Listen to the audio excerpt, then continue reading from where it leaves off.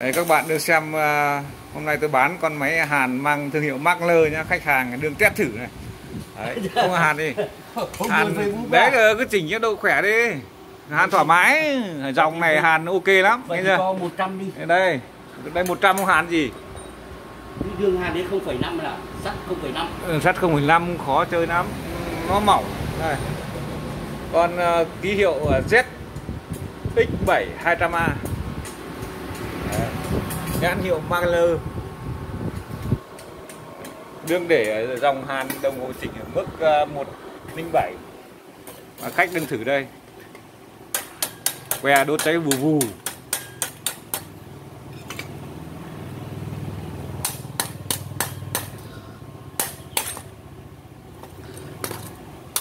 Đây là người anh em cũng ờ, mới vào nghề thôi. Hàn ờ, làm tay nghề nó cũng đừng tập hàn nhưng mà hàn cũng đã tương đối chuẩn.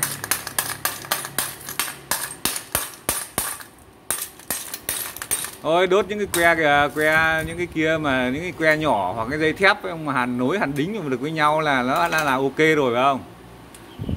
Cái tôn mỏng này nó, nó nó thường nó phải dùng bằng cái hàn tích.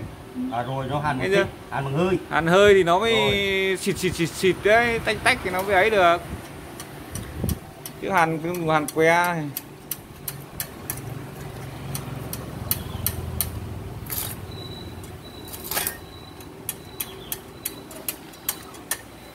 cho nó đấy nó cái đấy nó bẩn nó không tiếp xúc đấy nha.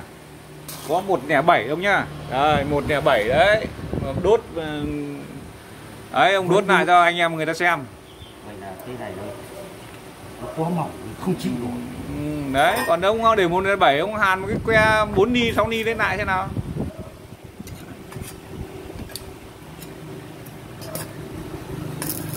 Đấy thấy chưa nó có dắt díu gì đâu. Đấy là công suất rất nhỏ đấy.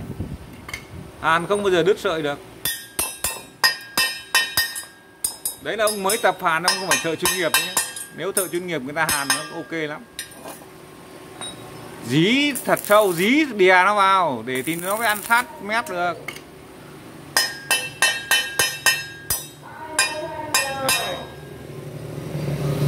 Đấy còn nếu muốn mối hàn mà nó đẹp ngay thì ông phải nắp cái que inox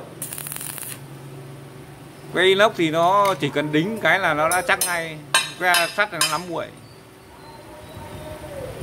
ok chưa cái cỡ que này là là, là cái cái cái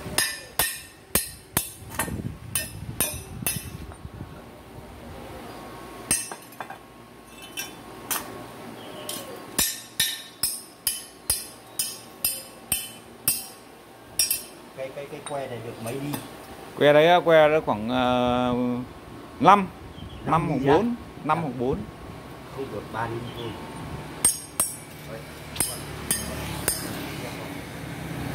Đấy. Anh em và mọi người có cái nhu cầu tư vấn về cái ờ, máy hàn để chọn mua cho mình một cái thì các anh em có thể comment và cứ hỏi vô tư nếu như tôi ờ, biết ừ, cái gì đó thì tôi sẽ chia sẻ cho các bạn để uh, mua cho mình một cái máy nó được như ý và hoàn hảo đỡ phải uh, mất công đổi và sửa chữa. Đấy tôi vừa test cho uh, khách hàng con máy uh, hàn mang cái thương hiệu Miner đấy. Tức là điều chỉnh dòng hàn ở nhiều cái mức độ khác nhau nhưng máy vẫn hàn khỏe hàn tốt.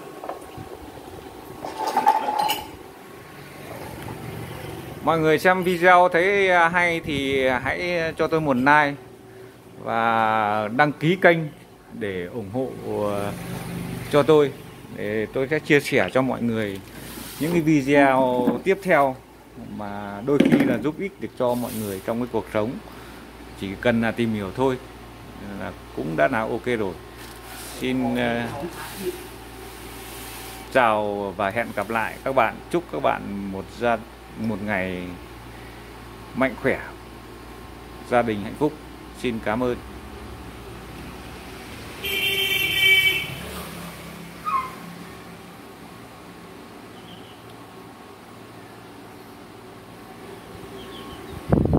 Được